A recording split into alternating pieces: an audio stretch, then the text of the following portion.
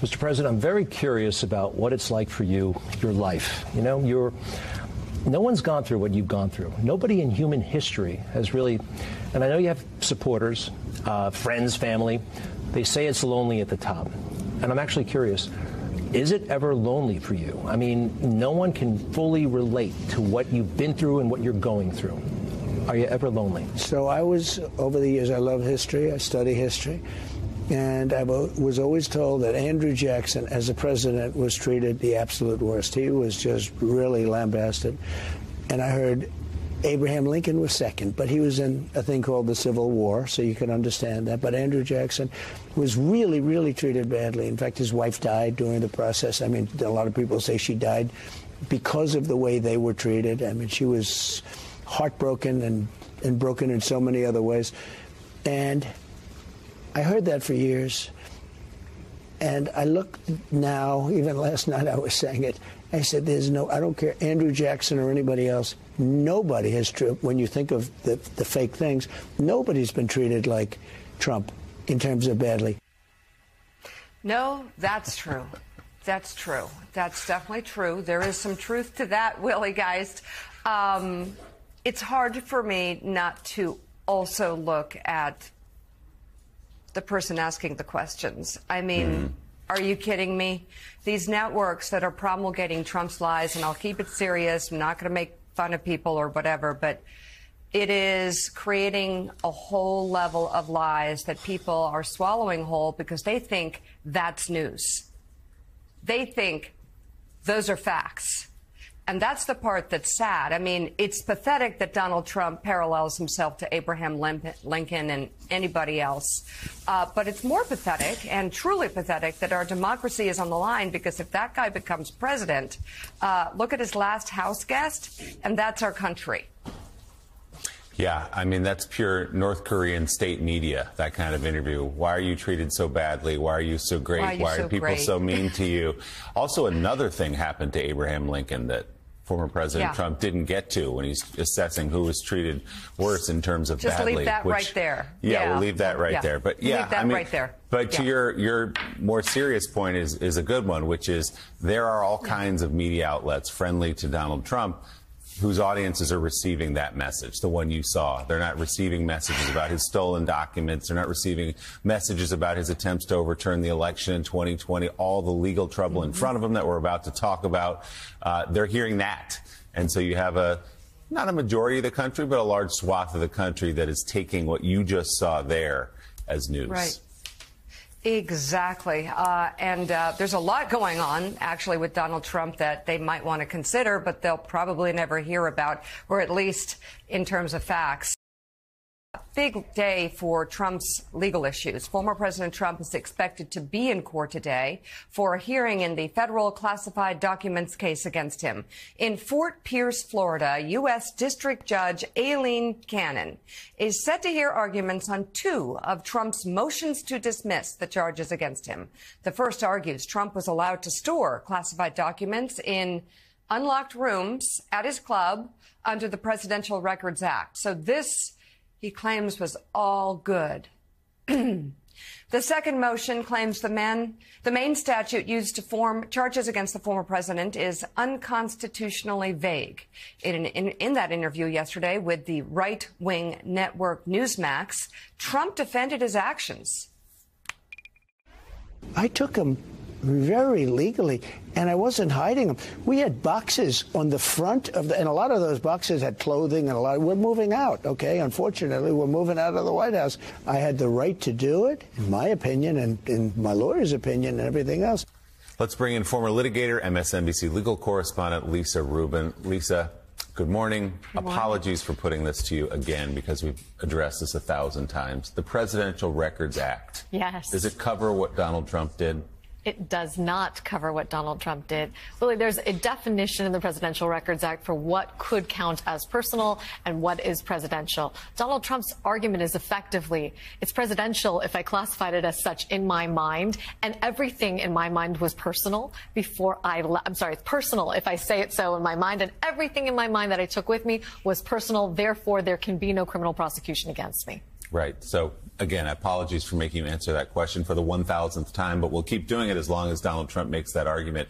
Um, so, more broadly speaking, this classified documents case, where where are we? We're hearing about Judge Cannon and some delays, delays. Where are we in this progress of actually bringing this to trial? Well, you'll remember that a couple weeks ago, Judge Cannon had a hearing where she took argument from both sides about when this case should be tried. She has yet to issue a scheduling order setting a trial date. And in the meantime, she is hearing argument today on two motions to dismiss. I'm not a betting person. I'd probably make a miserable one. But the fact that she hasn't set a trial date and yet has set oral argument on two motions to dismiss makes me think maybe she thinks she could get rid of this case entirely without having to set a trial date. And that really is a frightening prospect, I think, given the gravity of the charges here and the panoply of evidence that supports those charges. So, what should we? What's going to be the state's defense then? What, what, will we hear from them today as they try to counter what Judge Cannon may or may, uh, as your theory, maybe looking to just make the whole thing go away? What's their argument going to be? I think their argument is going to be, first of all, that the Presidential Records Act doesn't support the interpretation and almost the perversion that Donald Trump is trying to give to it. That the Presidential Records Act would hold that any number of the things Donald Trump took with him are inherently presidential. They should have gone to the National Archives. There was a process to follow, that the people in the White House surrounding Donald Trump were well aware of that process and in communication with the National Archives before he left the White House, let alone in a new process that started months afterwards when the National Archives brought to their attention, hey, we're missing a bunch of stuff. That includes the Kim Jong Un letter, the letter Barack Obama left for you, etc. And that kicked off a process, basically a cat and mouse game where the National Archives and then the Department of Justice and the FBI were chasing after Trump to collect all the things that he took. And as you well know, he was not honest with them at any step of that process. He, in fact, deluded his own lawyers, Christina Bobb, Evan Corcoran, sort of suckered them into it by having the boxes moved in this bizarre three card Monty that he was playing with his own legal team. I don't think that'll hold up. In terms of the unconstitutional vagueness of the statute here, he's talking about the willful retention of national defense documents. He says, among other things, that the phrase national defense is unconstitutionally vague. He says that the unauthorized retention is another aspect of what's unconstitutionally vague here. We all know that this statute has been used to prosecute many other people of lesser stature in this country who have never made such an argument, let alone have a court sustain it. Well, that's what I wanted to ask you about because you know, you've recently a National Guardsman in Massachusetts. Yes. I believe you got 21 years 21 years sure. in prison, yes, because of what he did, which granted was pretty egregious, but at the same time shows that this classified, the classification system is completely broken. Reality Winner. How can, with a straight face, in nothing will happen to Donald Trump when what he did was equally egregious in terms of the crimes of these other low ranking very low ranking soldiers and defense contractor. At least we see that all around us, right? We see that in the federal election interference case, too, where 950 people have been sentenced and convicted for crimes associated with January 6th when the instigator in chief remains free from trial right now. It's no different here. Donald Trump is immune to arguments that other people are doing time for the same things he has done. And in many cases, he has done worse. So, Lisa, I'm curious. I understand this is this is the reality. This is the process. This is the judge that we have in this case. Um, but if Trump is not held accountable for taking classified documents into his possession to his club and leaving them in open boxes, claiming they are his, um, getting his workers to be involved in what is ostensibly a crime. Um, What's the precedent that that will set if somehow he skates from this? I think it's a terrible precedent, Mika, which is why people like me are so concerned about the rule of law uh, and its survival in the post Trump and during Trump era, the notion that a former president can escape to their private residence with boxes upon boxes of hundreds of classified documents or documents that otherwise affect the national defense, lie about it, enlist maintenance workers and valets My in God. that crime, expect them to take the fall and then walk away scot free and then potentially get elected to the office again That's unfathomable. And not just take the documents, but obstruct, obstruct, Correct. obstruct all the attempts Yes. to have those Yeah. recovered as well. I'm really struck by the clip you guys played of Greg Kelly interviewing him where he said, No one's been treated worse than Trump. I'd flip that around and say, No one has treated us worse than Trump has treated us. He's, he's skating on Mm-hmm. this. We'll see if that continues. He'll be in court in Florida today trying to get this dismissed. Although it's not official until the conventions this summer, a Biden Trump rematch is on the horizon for November. NBC News projects both men won enough delegates to officially lead their parties in the fight for the White House this fall. And as the race heats up, Trump has been sticking to familiar attack lines about President Biden. Joining us now with a fact check is former Treasury official and Morning Joe economic analyst Steve Rattner. He's got it all in We'll start, Steve, with the issue of crime. Take a look. We are a nation where free speech is no longer allowed and where crime is rampant and out of control like never, ever before. The carnage line. He's always going with the carnage, Steve. Is it true? Well, no, crime is not out of control like it's ever been before. And in fact, crime is actually continuing to drop under President Biden. So let's take a look at violent crime. This is per 100,000 people in relationship to our uh, size of our population. And you can see that violent crime actually since 2020 has dropped by 15 percent. 339, uh, 339 violent crimes per 100,000 people. It's below any place it was during the Trump administration, and it's had this huge drop in 2023. The same is basically true of property crime. You can see here this is um, this is uh, uh, people robbing homes and things of that like down 7%, 1,830 per 100,000 people. So this is a complete fiction that crime is up under the Biden administration. Yeah, and at the same time, uh, there are different areas of the country experiencing different things, and a mixture of crime and homelessness is very personal to people in their neighborhoods. Um, but again, you can't deny the data and the trends that we're seeing. There's also Donald Trump's false claims when it comes to President Biden's energy policy. Listen to this. On day one of our new administration, we will end Biden's nation wrecking war on American energy. He's wrecking the energy business. Ah, okay. Steve Rattner, again, what are the facts? Yeah, I mean, wrecking the energy business. So we have had record energy production under the Biden administration. This combines nuclear, fossil fuels, and renewables. And you can see here that we have never had energy production this high. And then the other thing that he says is that he's going to make us energy independent again. Well, the fact is we are energy independent. We've been energy independent now for five years. And in fact, our energy exports, uh, mostly oil, but also some natural gas, hit a record last year. So in fact, America has, we, we produced more oil than any country in the world has ever produced uh, in history. Yeah, and he talks a lot about the economy and how it was better under him, and uh, also attempting to rewrite history on the deficit and debt. Listen to Donald Trump. We were going to pay off debt.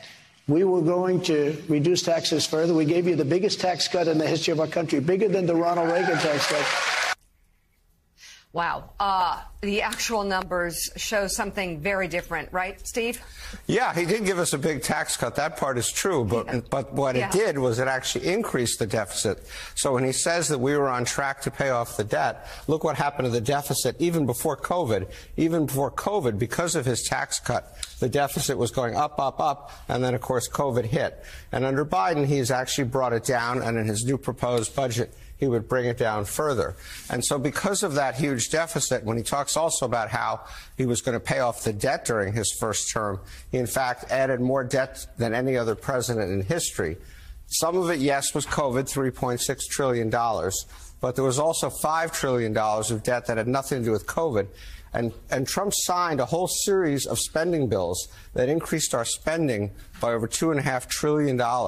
So the idea that he was a president that was going to attack the deficit and debt problem is actually completely false. And, and Steve, when President Biden put out this week uh, his projected budget, there was a lot of pearl clutching from Republicans about adding to the deficit when they were completely silent for the most part as Donald Trump added $8 trillion to the deficit. Uh, the chart directly behind you on the, the war on energy, the one you talked about a minute ago, Donald Trump has been posting drill, baby, drill quite a bit lately. Is it fair to say that sounds more like an endorsement of what Joe Biden's doing right now? Yeah, I, I, this drill baby drill stuff I find astonishing because uh, obviously you only get record energy production by by drilling, and we have been drilling. Obviously, there are concerns about fossil fuels. We need to transition away from them, but for now we need them. And the idea that Biden has been anti-energy or somehow curtailed our drilling is completely belied by the fact that we are producing record amounts of oil and natural gas.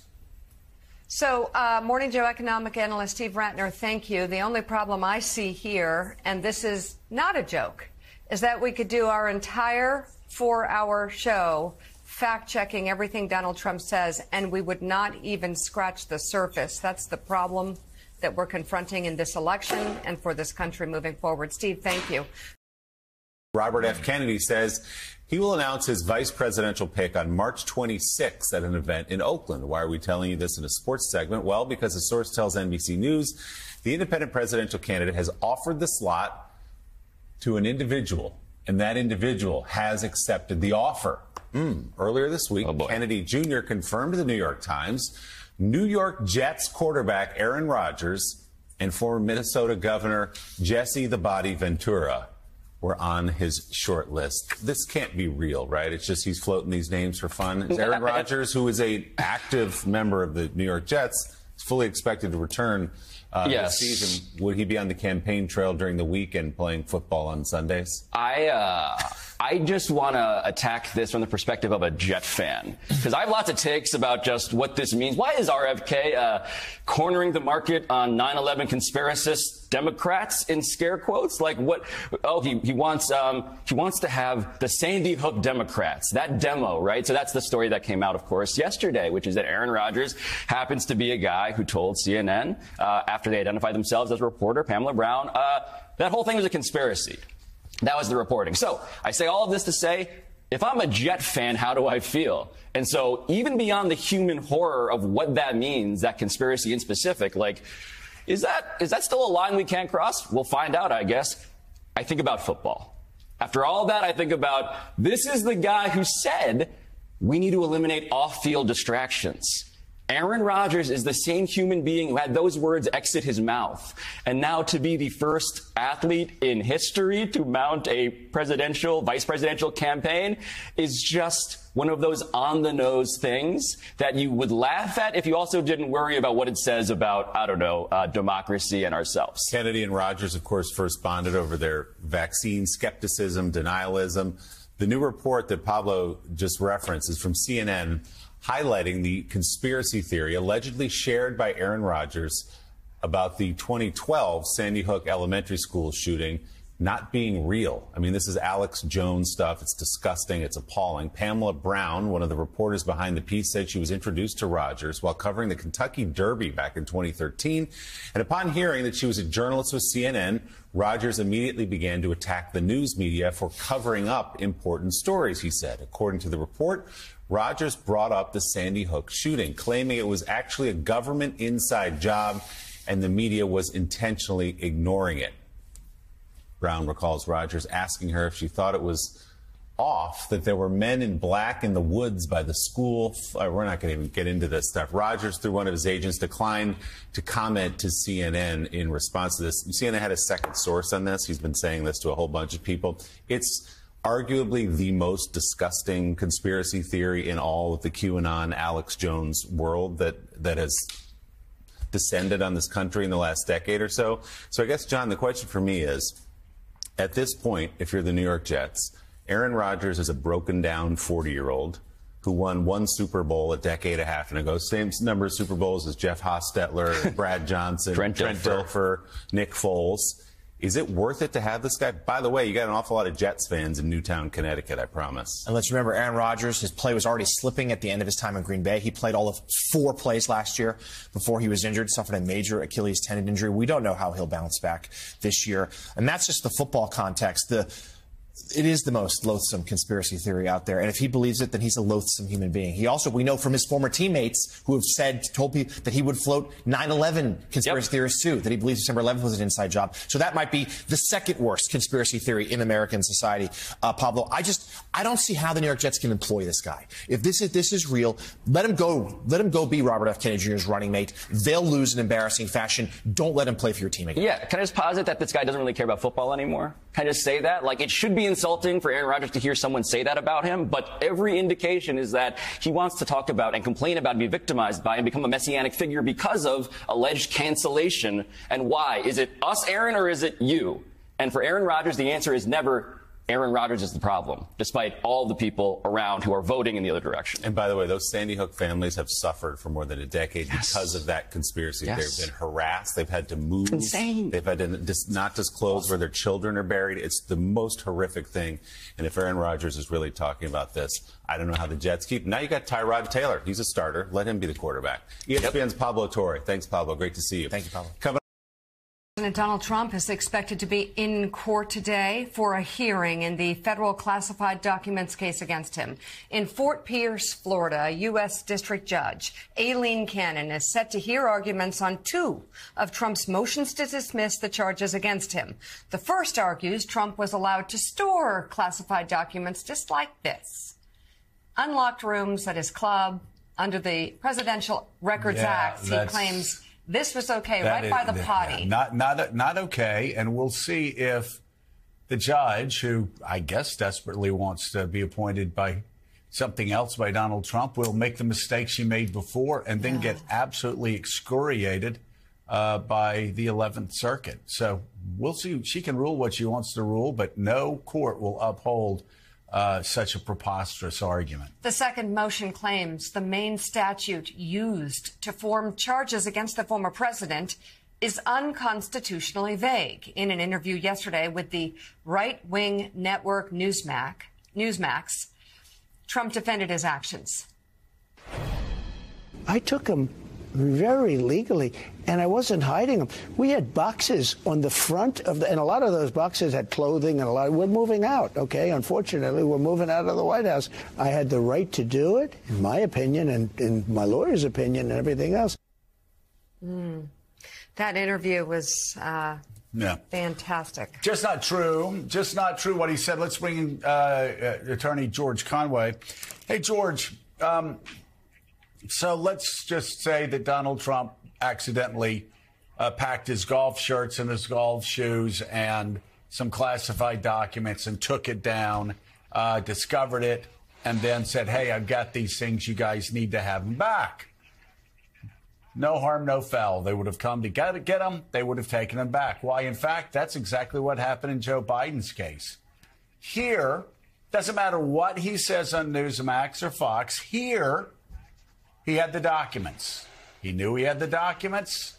He lied to the FBI about the documents. They tried negotiating to get the documents back. He gave some of them back. In fact, he had his lawyers actually sign affidavits swearing all the documents were back and ended up they were lying.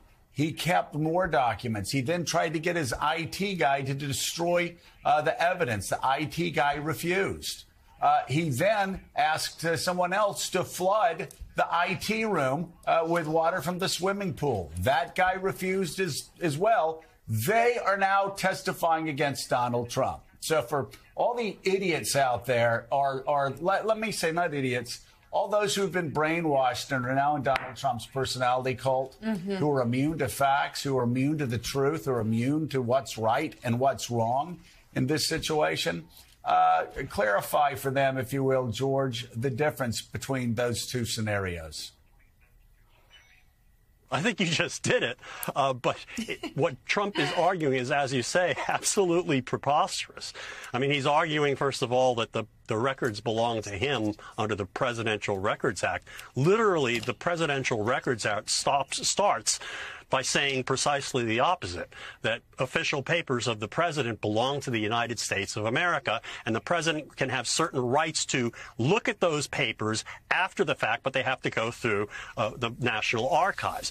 And none of that, you know, has anything to do even with the classification. The classification issue is something that doesn't affect the fact that he took these documents and then squirreled them around. But it and and, the, and there's no argument that this is somehow unconstitutionally vague. I mean, he obstructed justice. There's just no question about that. People go to jail for that all the time, and there's no question that these materials uh, contain national defense information. Even if he could pull the Carnac, the magnificent routine, uh, routine with an envelope to his head and say these are declassified, they'd still be uh, national defense information under the Espionage Act, and that and each of those counts subjects him to a potential of 10 years in jail, and there are just dozens of counts.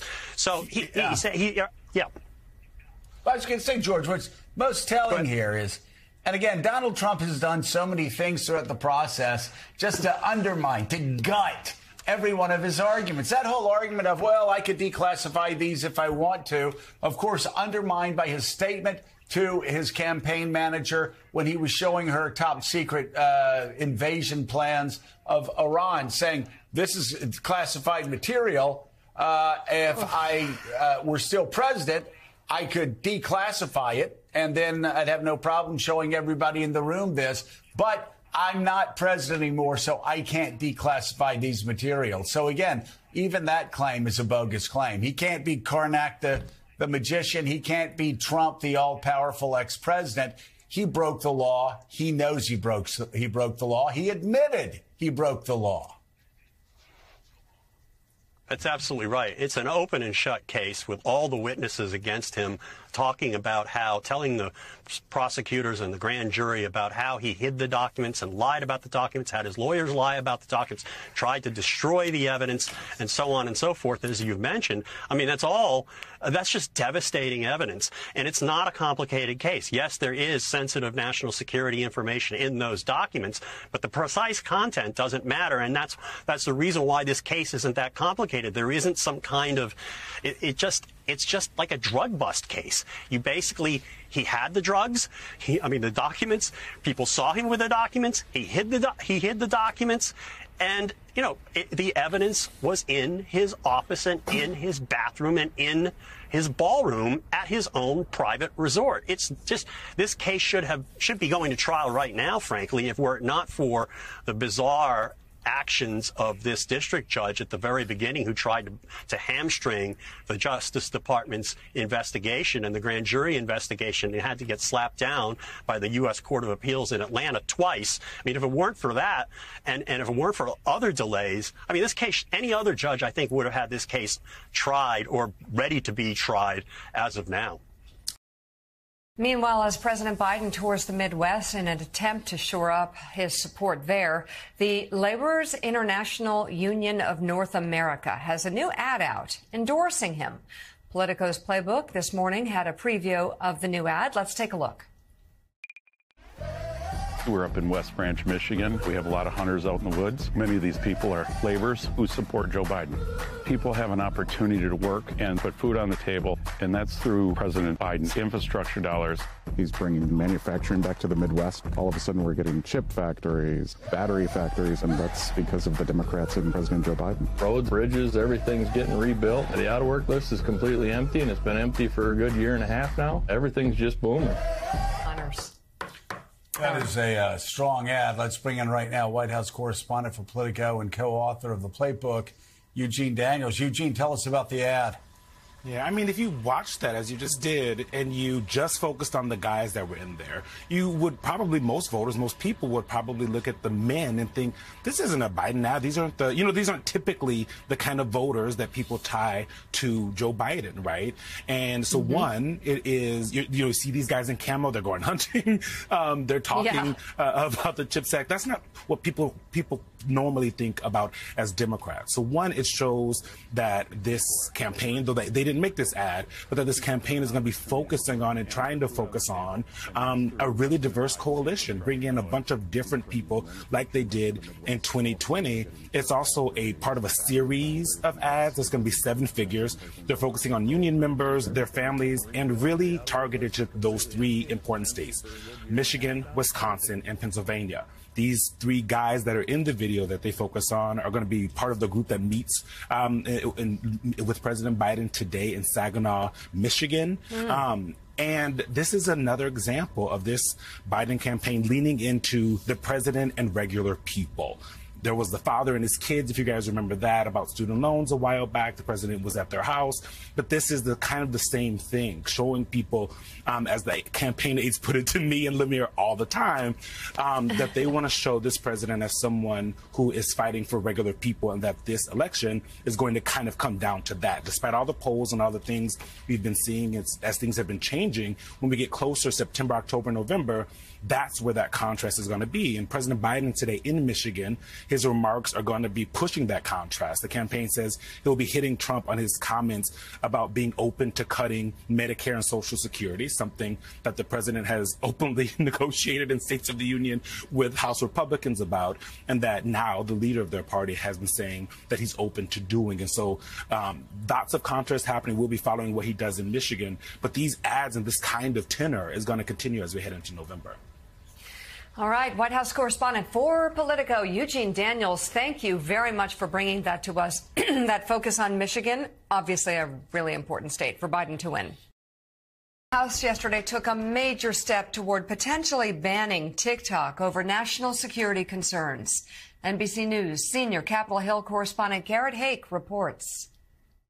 For social media giant TikTok, an uncertain future this morning as a bill calling for the company to split from its Chinese parent company or be shut down now heads to the Senate. The U.S. House on Wednesday, in a rare and overwhelmingly bipartisan vote, passing the measure that requires TikTok's parent company, ByteDance, to sell the app within six months. Republican Mike Gallagher wrote the bill. What do you say to people who just fundamentally don't understand why the app where they watch silly dance videos is a national security threat? The possibility for dangerous propaganda is too immense to allow one of our foremost adversaries to have this control over what is increasingly becoming the dominant news platform in America. Lawmakers and national security experts have long been concerned with ByteDance's ties to the Chinese Communist Party, which many believe can and does store data from American users, partly because of a national security law that requires Chinese companies to share data and other information with the government. The reason that is valuable to the Chinese Communist Party is it it begins to allow them to know how to influence Americans. In its annual threat assessment, the U.S. intelligence community says China used TikTok in the 2022 midterms, warning it could do so again in this fall's presidential election. TikTok has repeatedly denied any connections to the Chinese government, with the company's CEO responding to the House vote late Wednesday. We will continue to do all we can, including exercising our legal rights to protect this amazing platform. Just 65 House members, mostly Democrats, opposed the bill. It's an overly broad bill that I don't think will withstand First Amendment scrutiny. Uh, the, the other issue is that there are a lot of people who make their livelihoods on this, including creators like JT Laybourne. It is 100% of our income. Um, it's how I feed my wife and three children. Even some who support a divestment see a double edged sword in an election year, with more than 20% of American voters using TikTok at least once a day. Cutting out a large group of young voters is not uh, the best known strategy for reelection. So, NBC's Garrett Haake reporting on that. Joining us now is one of the Democrats who co-authored the TikTok bill, Congressman Raja Krishnamoorthi of Illinois. He's a ranking member of the House Select Committee on China. Congressman, thank you so much for being with us. What uh, what what message do you think was sent to the Communist Chinese Party? Why was it important that that message got sent? I think the message was that look, uh, the American people uh, enjoy TikTok, and we in Congress want the platform to continue to operate. But we want ByteDance to divest its vast majority of ownership of TikTok. This was not a ban, it was a divestment bill. And it's really not about TikTok, it's about ByteDance. just so your viewers know, ByteDance is a Chinese company that has 100% ownership of TikTok, and the uh, editor in chief of ByteDance is the secretary of the Chinese Communist Party cell embedded at the highest ranks of ByteDance to make sure that all products of ByteDance, including TikTok, adhere to quote correct political direction. And so that is Yeah. why we are asking for the divestment of TikTok. Well, I mean, they push propaganda. I mean, posts that uh, sow confusion in the United States and undermine America's interests somehow but go uh, go viral. But if you, uh, let's say, decide to post anything on Uyghurs or Hong Kong or, or other other issues about human rights, suddenly uh, those won't go viral. In fact, Mm. uh, they they won't see the light of day. I'm wondering, um, from what you've heard uh, from your Senate colleagues, do you have hope that they will do the right thing and stop allowing the Communist Chinese Party to spy on Americans, to push propaganda on Americans, and use algorithms uh, to impact our elections negatively? Yes, uh, we've had many positive conversations. Obviously, we want to respect the process that Leader Schumer has uh, for taking up this bill. But I think there's a lot of interest. And I got to say, what TikTok did last week and in, in its lobbying campaigns have really uh, backfired and caused more people to support our bill, um, including in both chambers. Just as an example, on the morning of the vote uh, in the House Energy and Commerce Committee to take up this bill, uh, TikTok sent out a push uh, notification and pop up on millions of users' phones uh, using geolocation data of minor children to get them to call their members of Congress in order to continue uh, accessing content on TikTok.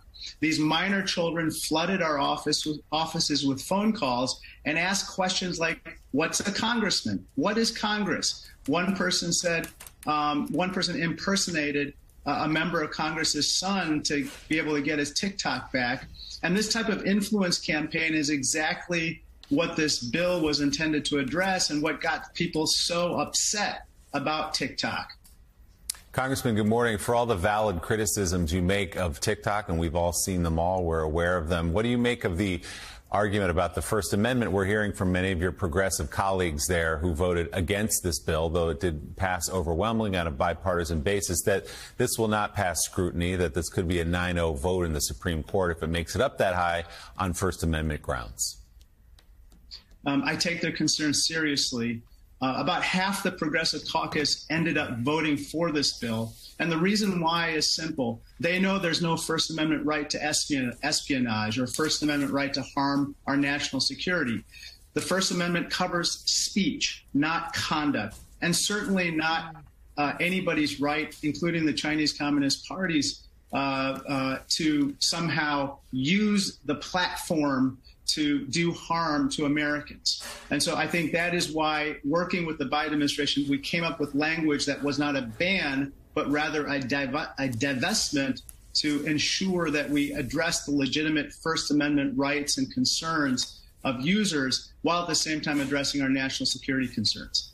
So, Congressman, though, to that point, we've certainly heard op- the opposition suggest it's not just national, you know, being dubious of some of the national security concerns, raising awareness about the First Amendment, but just also saying this is unprecedented, that this is a step that the Congress has never taken before. Can, what is your response to that? Do they feel like this could be the beginning of a slippery slope? This is not without precedent. That's incorrect. The best example is the LGBTQ app Grindr. Grindr was owned by a Chinese company. And once it became clear that the CCP, the Chinese Communist Party, had access to sensitive data about LGBTQ members of the US government and military, they were forced to divest. They did so very quickly because the app is, was very valuable, much like TikTok, and there was no disruption to users. And that's what we would expect in this case as well. All right, Democratic Congressman Raja Krishnamoorthi of Illinois. We will continue this conversation. Lots of debate around it. We appreciate you coming on this morning. Thank you. All right, the House yesterday overwhelmingly passed a bill that could lead to a ban of TikTok in the United States. Lawmakers in favor of the legislation say Its goal is solely to divest the popular social media platform from its Chinese parent company. Opponents say it's a form of censorship. Moments ago, former Treasury Secretary Steve Mnuchin revealed this to CNBC's Andrew Ross Sorkin. It's a great business, and I'm going to put together a group to buy TikTok. The issue is all about the technology. This needs to be controlled by U.S. Let me ask you a very And the go anchor of Squawk Box joins us now. This uh, story gets stranger by the moment. Tell us about it, Andrew.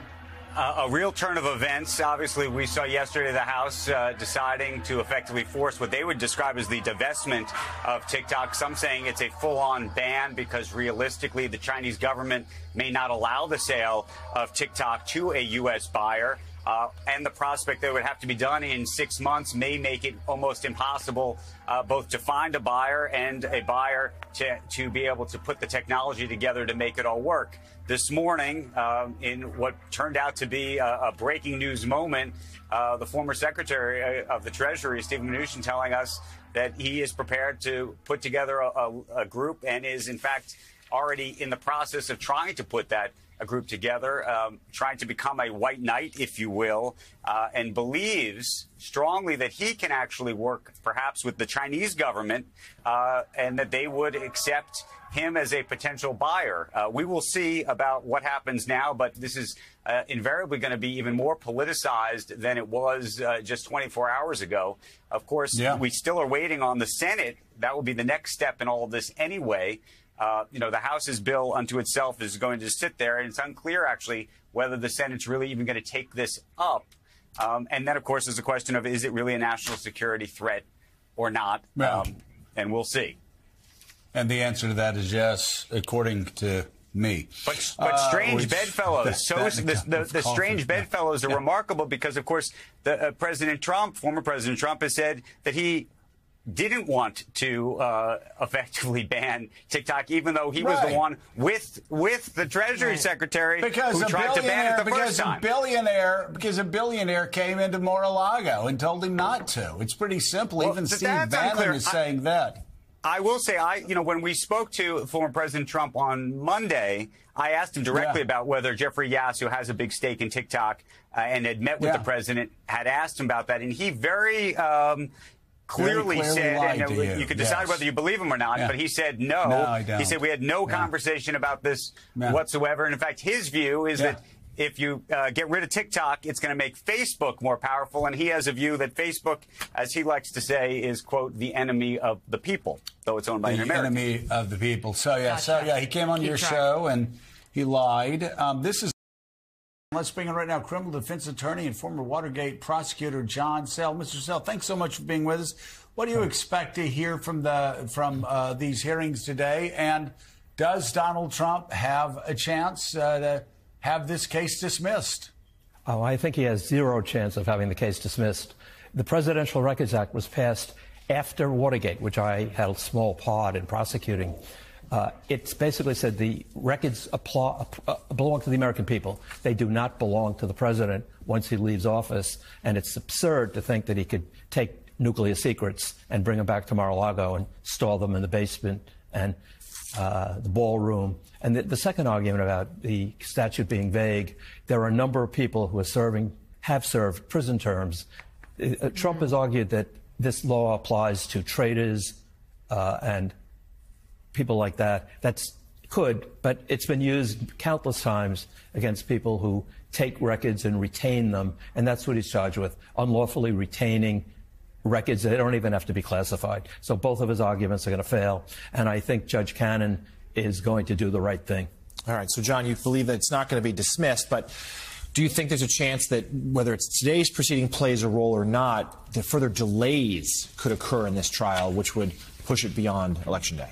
Well, delays occur in every trial. And in fairness, every criminal defense lawyer, including me, whenever we make motions, delays come with it. So the answer is yes. I think that this case will not be tried before the election. And I think that the Trump team saying they're ready in August, what they're just trying to do is to be able to say to Judge Chutkan, oh, we can't go to trial. We have a case set before Judge Cannon, and they're going to play one against the other. And I think it's going to succeed in this case. Criminal defense attorney and former Watergate prosecutor John Sale, thank you so much uh, for being on the show this morning.